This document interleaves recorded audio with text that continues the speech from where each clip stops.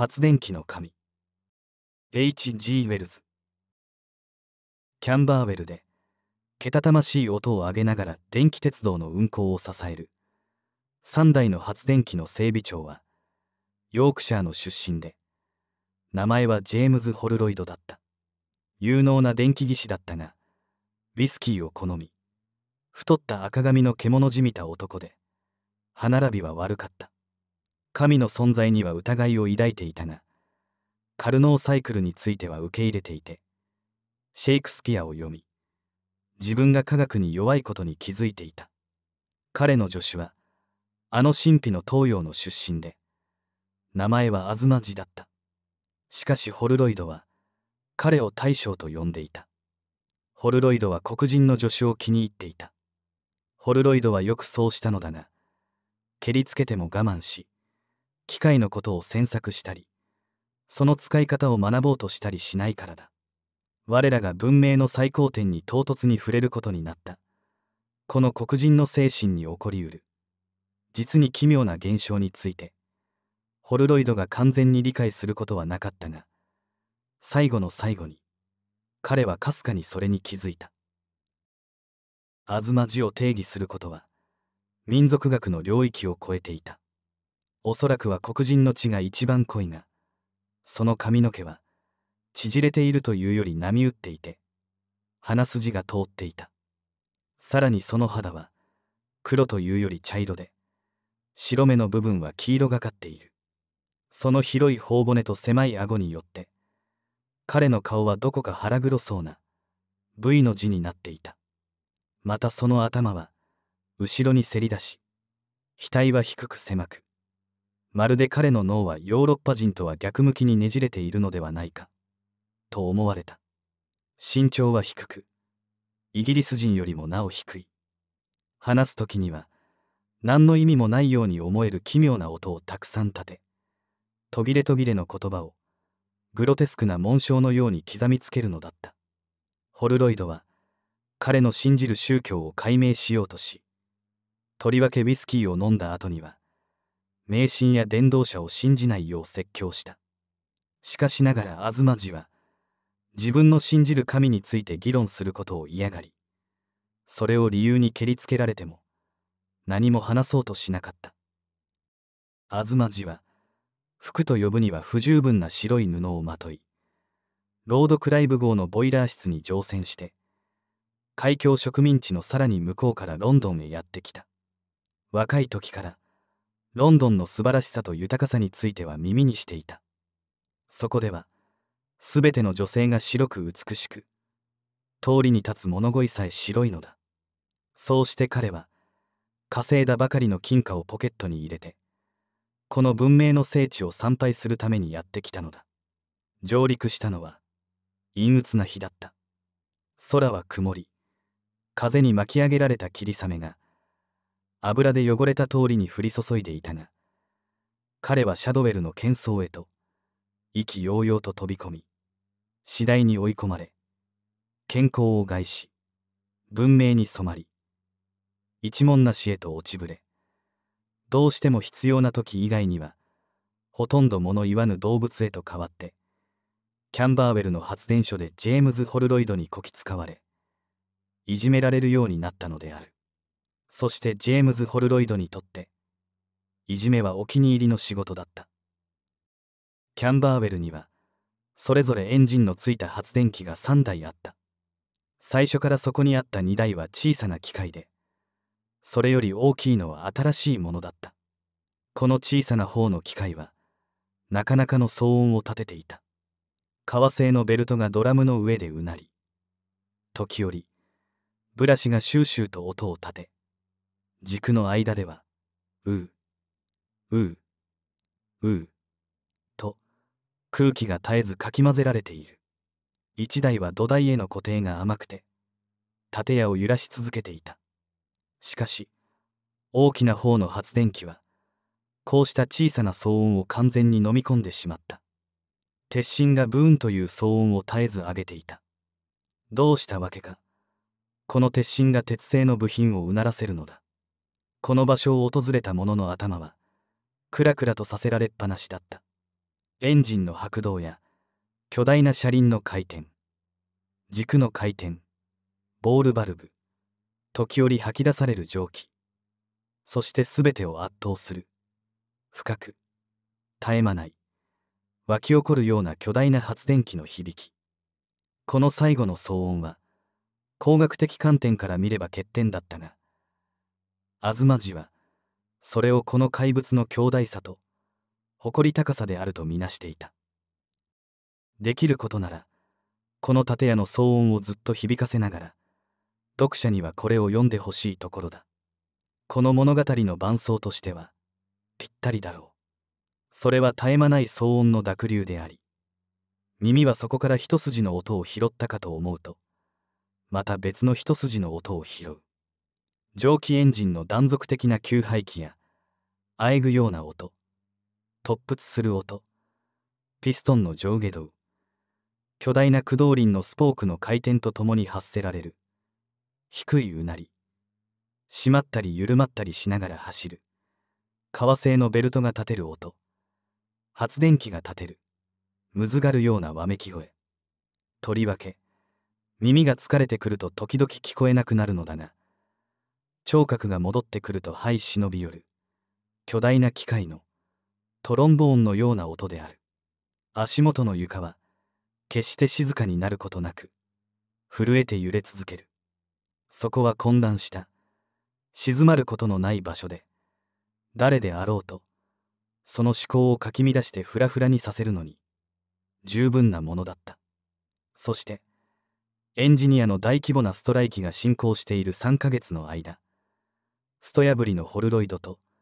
ただ黒いだけの東地はこの揺れ動き渦巻く建屋から一度も出ず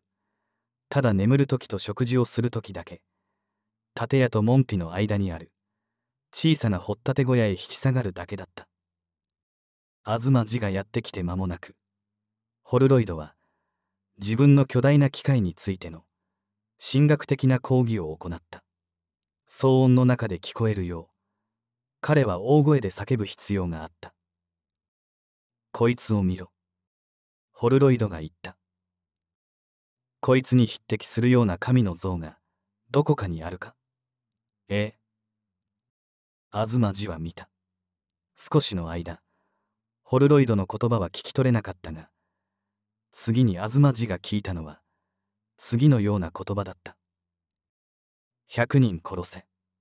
それで普通株の12%だ。ホルロイドが言った。こいつはゴードのようなもんだな。ホルロイドは自分の巨大な発電機を誇りに思っていてその大きさや出力を東寺に説明したがどのような奇妙な思考の流れや絶え間ない回転や騒乱が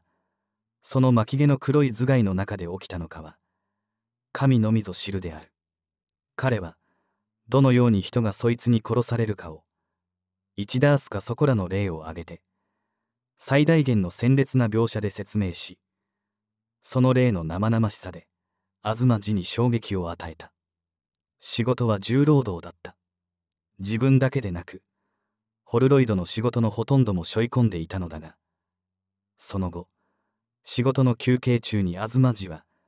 座り込んでこの巨大な機械を見つめるようになった。時折ブラシが火花を散らして青い閃光が走りホルロイドはそれに悪態をついたがそれを除けばまるで呼吸のように滑らかでリズミカルだった。ベルトは叫びを上げながらシャフトの上を走り見ているとそのうち背後でピストンの満足げな重い音が起きるのだった。働く彼とホルロイドと共にそんな風にしてそいつはこの大きくて広々とした建屋で一日を過ごしていた。彼が知っている他のエンジンのようにイギリスのソロモンの囚われの悪魔のごとく捕まって奴隷として船を走らせる仕事をやらされているのではない。この機械は君臨しているのだ。東寺はわざとらしく2台の小さな方の発電機を軽蔑する一方で大きな方に対しては密かに発電機の神。という名をつけていた。2台は気難しく動きにムラがあったが大きな発電機は安定していた。なんと偉大なことか。なんと気高くやすやすと働くことか。ラングーンで目にしたブッダよりもなお偉大で穏やかでしかもじっとしているのではなく生きているのだ。巨大な黒いコイルはくるくると回りブラシの下をリングが円を描いて走りコイルの立てる深い響きが全てを安定させている。それが東寺に奇妙な影響を与えたのだった。東寺は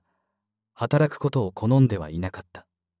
敷地の守衛にウィスキーを取りに行かせるためにホルロイドが立ち去ると彼は座り込んで発電機の神を見つめた。実のところ彼の正式な持ち場は発電機の建屋ではなくエンジンの後ろだったしさらに言えば怠けているところをホルロイドに見つかれば太い銅線の束で殴りつけられるのだったが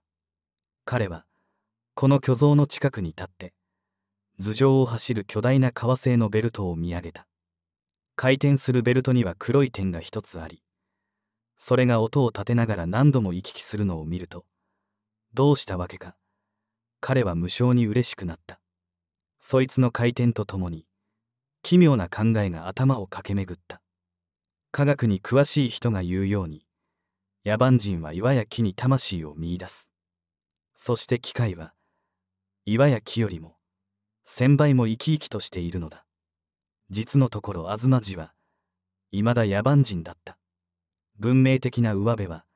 そのおしきせの洋服。そのあざ。その顔や手についた石炭の汚れ以上に深く浸透してはいなかった。彼の父親は彼の前で隕石を拝んでいた。その禁煙の血が絶対的な力の大きな車輪へと跳ねかかったのだろう。彼を魅了するこの巨大な発電機を触ったり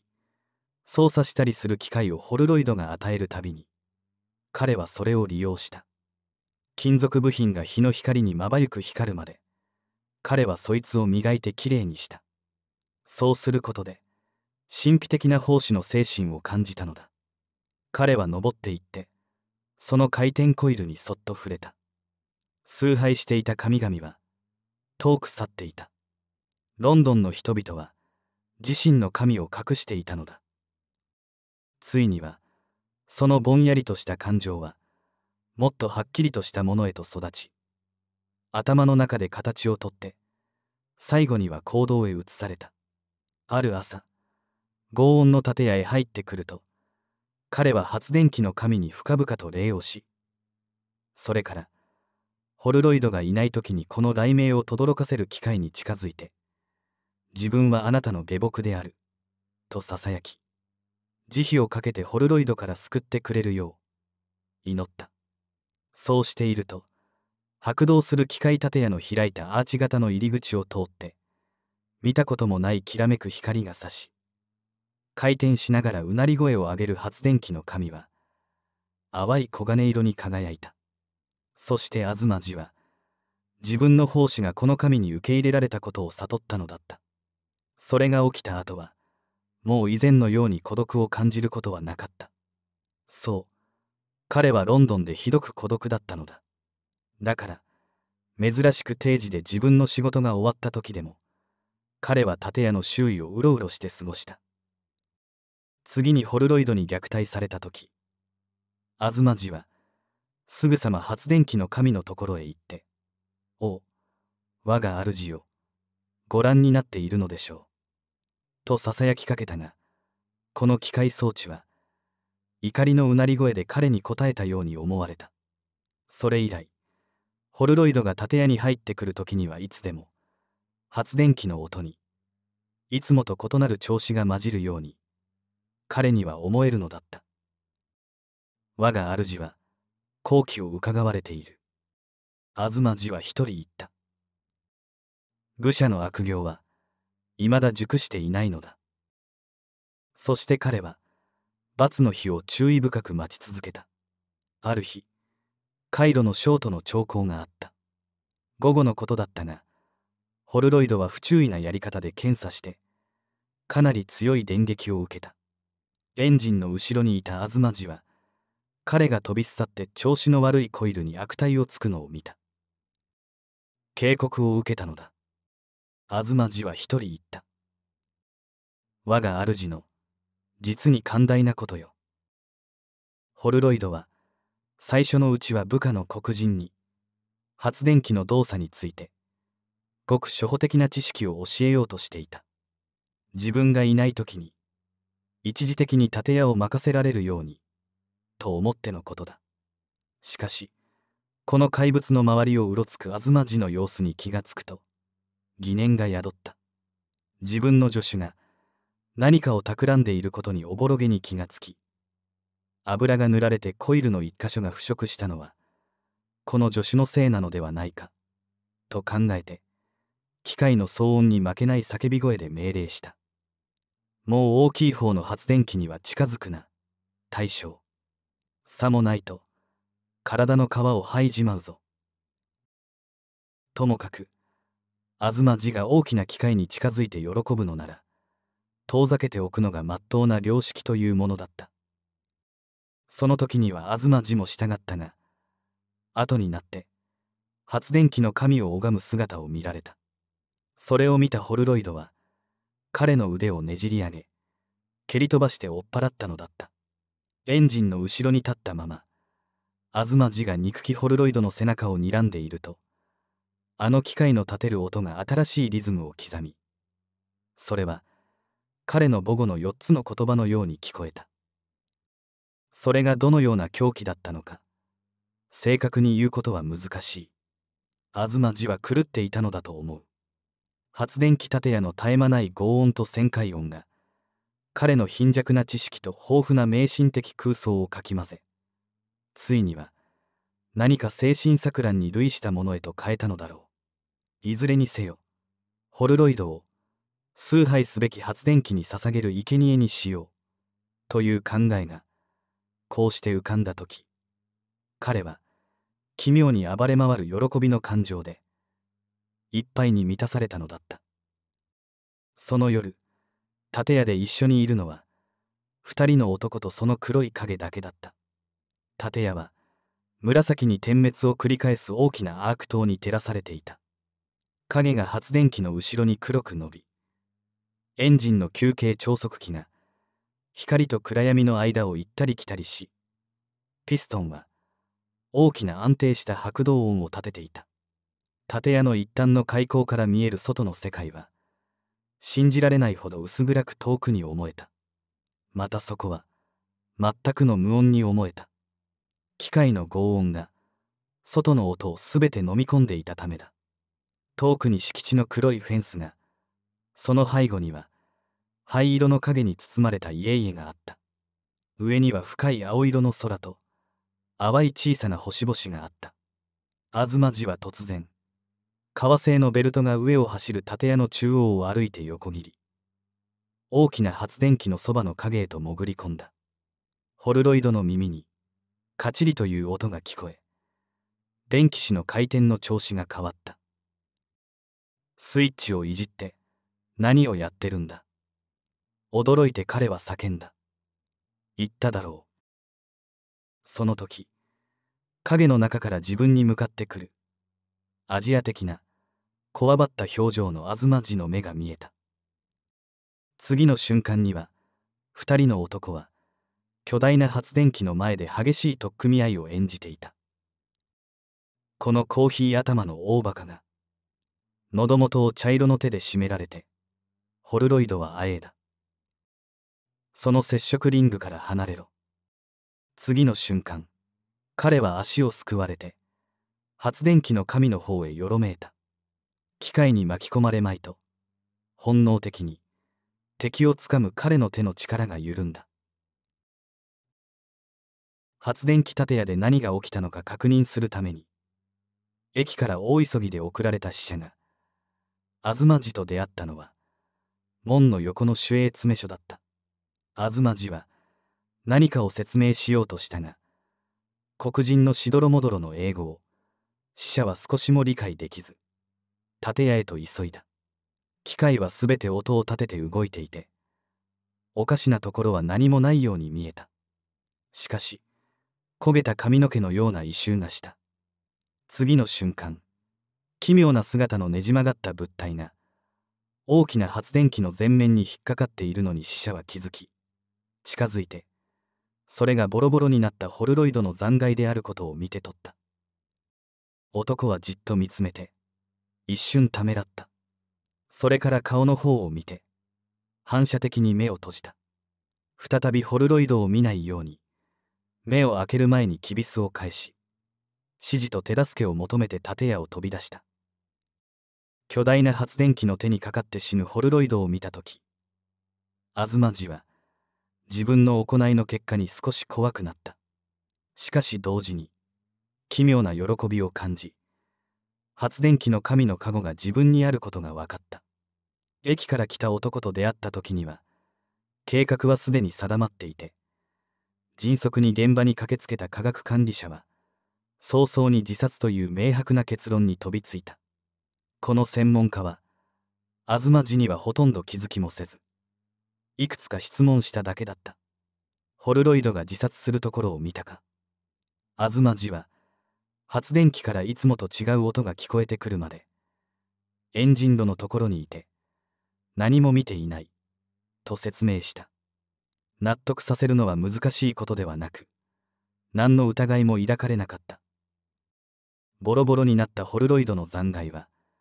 電気技師が機械から取り外し守衛が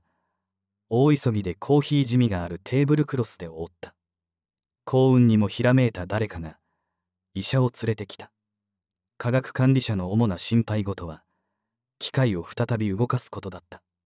78台の列車が電気鉄道の息が詰まるようなトンネルの真ん中で止まっているのだ。行政当局や野じ馬根性によって建屋へと送り込まれた人々の質問に答えたり見当違いなことを言っていた東寺はしばらくすると